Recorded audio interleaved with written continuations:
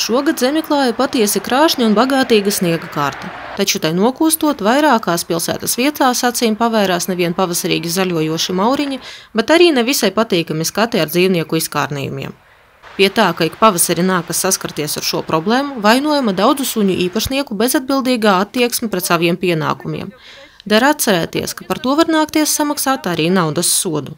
Noteikumi, kas nosaka vispārējās prasības dzīvnieku turēšanai un īpašnieku tiesības un pienākumus, ir atrunāti ministru kabinetu noteikumos un dzīvnieku aizsardzības likumā. Tie nedaudz atšķiras pilsētas un lauku teritorijām.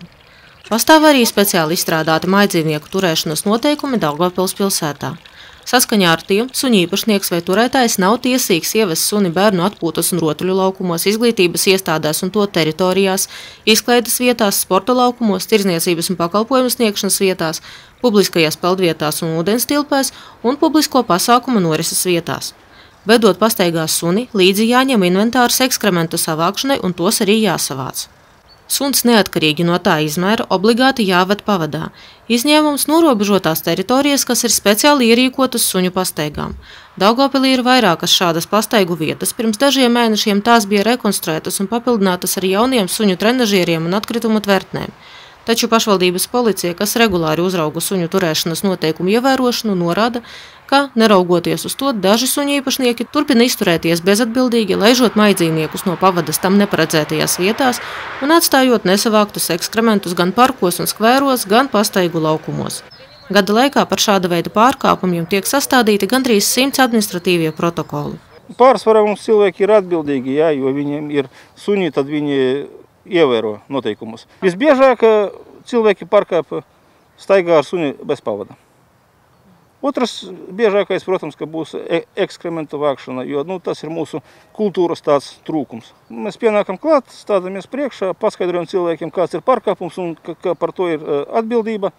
Un tad jau skatoties pēc situācijas, kā cilvēki rēģē, pārsvarā jau cilvēki mums mierīgi rēģē, visu saprot, atvainojas un tad savās vai ekskrementus vai ņem suni uz pavada. Noteikumos atrunāta arī mājas un bezsaimnieku kaķu turēšanas kārtība. Daugavpils pilsētā dzīvojamo māju tuvumā atļauts turēt tikai sterilizētus bezsaimnieku kaķus, nodrošinot viņu labturību un apzīmēšanu. Vieta, kur šādi kaķi tiek turēti, ir jāuztur tīrībā un kārtībā. Par klaiņojošiem un bezpalīdzīgā stāvoklī nonākušiem dzīvniekiem aicina ziņot dzīvnieku patversmei, par dzīvnieku turēšanas noteikumu pārkāpumiem pašvaldības policijai.